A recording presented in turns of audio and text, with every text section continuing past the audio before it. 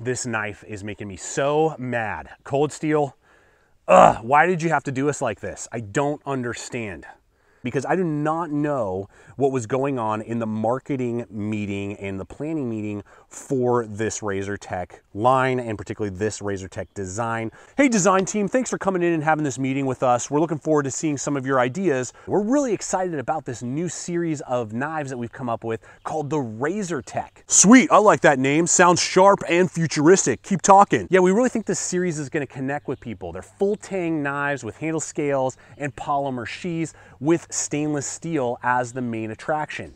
Yeah, you're right. Those designs do look really rad. What type of steel are you guys thinking of using? What price point were you thinking these would come in at? Yeah, so we know the market's really saturated with those 100 to $150 survival knives. So we thought we would go with our 4116 stainless steel, make it in Taiwan. You know how well we can heat treat that steel. And then we could sell it at a much lower price point, well under $100. I love everything you're saying except for the price. We're gonna crank that number well over 100 bucks. Are you sure? That's kind of the whole point of using that type of steel. Listen, you're the nerds in the design department. Leave the business decisions to us. All right, man, whatever you say. I don't know who's making decisions over there at Cold Steel for the price, but I paid $142 for this knife to get in my hands to see what it could do which is like $5 more than what I paid for my ESEE 6 and about $30 more than what I paid for my Becker BK7, both made in America, both with excellent warranties that we'll get to today. If it was half the cost, 70 bucks, I'd tell all of you to go buy this knife because I have tried to destroy it. I've tried to get it to roll edges and damage. And I mean, I've beat on this thing like an animal and it is it just keeps on ticking. The handles haven't loosened up. I haven't had any sort of damage. And overall, yeah, there's a little bit of goofiness with some of the designing I'm about to hit with you. But if, if they were charging 65 to $70 on this tool, I truly believe that they would sell these by the boatload because I think it would be a great value. And if you need a stainless steel survival knife at a sub $100 price point, I don't really know of another one that I could recommend to you that is as capable and as tough as this one is, which is kind of crazy. So let's dive in. Let me show you what it does have. Let's pretend that that price point doesn't exist for a minute and we'll come back and circle back around here at the end. So obviously the first aspect is the blade itself. I mean, the shape and the profile and thickness and grinding, all of it is excellently executed. It's going to be 0.2 on the thickness, so it is thick, but the very high saber grind that they went with is excellently executed lots of X's there, with a great relief edge. I could do feather sticks with this all day long. This had great edge geometry out of the box, great executed drop on that tip nice and thick and robust. I mean, I was cranking on this thing and it wasn't wanting to snap. I wasn't scared that I was gonna like break the tip on this. So you could pry with this thing, stab and penetrate with this thing, and it will absolutely get the job done. You, it has a 90 degree spine, so you can throw sparks with this easily. It can baton so well. Chop, it comes in around 11 ounces, 12 ounces, so right in there with like BK 7, uh, 7s and ESEE 6s. So for that midweight survival knife range, it's excellent. So, you know, you're not gonna chop down a tree with this thing, but you can absolutely delimb and do, you know, smaller hacks if you need to with the blade. It has an ever so mild recurve that ends right about here, but it's so mild that you almost can't even notice it. And then it goes into that, you know, geometry of the, the blade with a good belly there. And that's not intimidating to me at all. And that's all done on a Taiwanese made German steel 4116 stainless steel. 4116 is like bottom of the barrel, barely even mentionable type of steel. It's very low end. Now cold steel in years past has been really good with their heat treats and obviously with this one. Um, because I could not break it, I could not bend it, and I could not get it to roll an edge. After thrashing on the steel, I mean, trying to get it to jack up, I'm like, what is happening? Why is this not dulling out on me?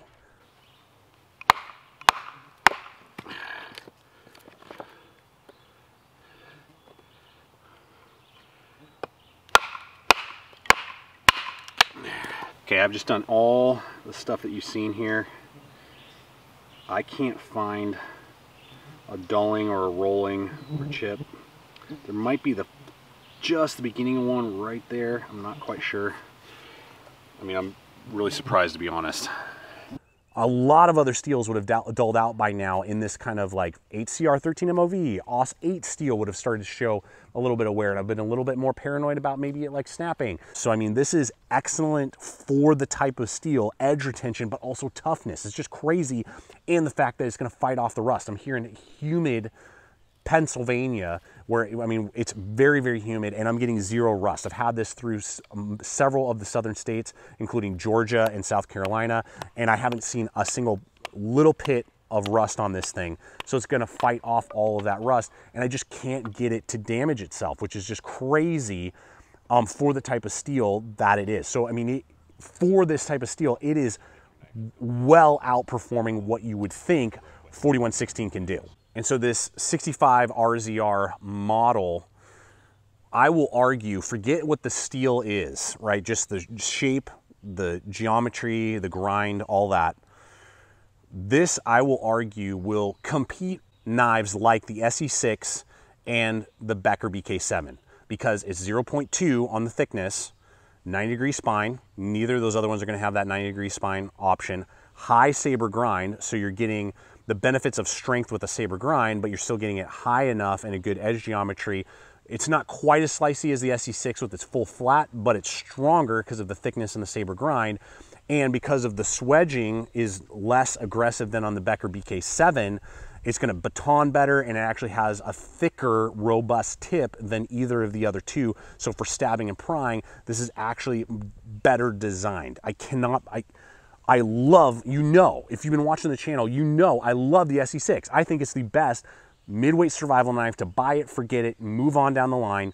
The, like, it's excellent. And we're gonna get to all of this in a little bit more detail because there are attributes. I know some of you guys are typing away right away. I know, I know. That's what's so, so why? Why uh, are, are we running into some of the issues that I have alluded to already?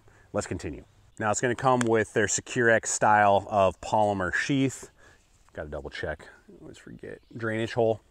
Ambidextrous, so you can use that nylon strap like you know from Cold Steel for years. Got the button snap there, so you can easily put it on without taking your belt off. Large belts will fit on there. Good snap. You can rotate that right or left. Good thumb ramp. Boom. Deploys easily. It's a little loud, but holds in there well so zero issues with the tension and for the style of blade, I mean, I'd take that any day over just a cruddy nylon sheath. All right, so how about this handle? Obviously, again, full tang construction all the way through with handle scales. It's some form of polymer, you know, glass reinforced nylon, uh, something like that. Ribbed, kind of like, uh, think Tops Rocky Mountain Tread kind of style. They're uh, rounded edges, so there's no sharpness and they are contoured. They're not blocky.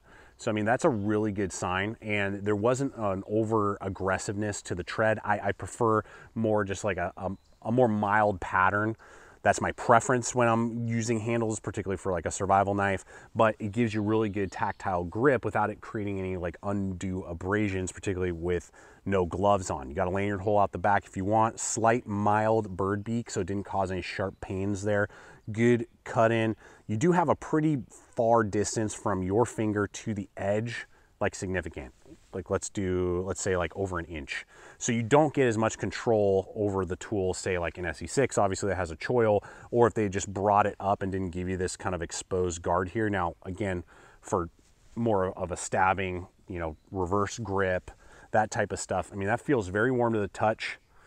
I would have liked it just to be a little bit bigger. It's five inches overall and like 0.8 on the thickness. So, I mean, that's not bad by any means. I would have liked to just have it a little bit closer to the edge so I can control cuts a little bit easier up here for fine cutting. And it does feel a little stubby out the back here for some reason. So if they just kind of kept the fullness instead of tapering it down slightly, it's not a bad handle by any means. It's just not as good as just a big, nice, full handle. It's okay and definitely gets the job done without creating any undue pressures or hot spots, but it could have been better. All right, so competitive options, pricing. This is, this is the linchpin. This is the hardest part of this whole freaking video, guys we're gonna use Blade HQ as the plumb line just so we can get a decent, like, what is this running for? This is $142 over on Blade HQ. $142 for what you see here. Now, again, if it was 70, 69.99, I'd be like, freaking go buy that thing right now. It's uh, if you want to, great. I mean, I'm gonna have links below for that as well as all these other blades. The value to me is just not, I don't get it. I just don't get it for the materials. So as an example, we got to go just to, for another cold steel as an option here, made in Taiwan, the Marauder AUS 8 steel. We would argue a much better steel overall, even though the toughness and so far decent edge retention, I would say AUS 8 still will hold a slightly better edge from what I can probably tell than this steel. But I mean, that's a nine inch blade, Kraton polymer. It's $76. Like, hello, just put the exact same price point on the Razor Tek and I think it would fly off the shelves. I would be like, go buy it. Go buy it right now. This thing is, if you need stainless steel survival, go get it. Then if we go over and we look at the ESEE 6, currently on Blade HQ, $139, cheaper. The ESEE 6 is cheaper than this Razor Tek. Made in America, lifetime warranty with 1095 steel, polymer ambidextrous sheath, micarta contoured handle scales. Whatever cold steel is smoking, I want it because they are high as freaking kites. And this is gonna have the lifetime warranty. And I know right now, I, I mean, I, I was on the phone with GSM Outdoors for a long time and I could not get through to anybody. I'm hearing that warranty is very difficult right now.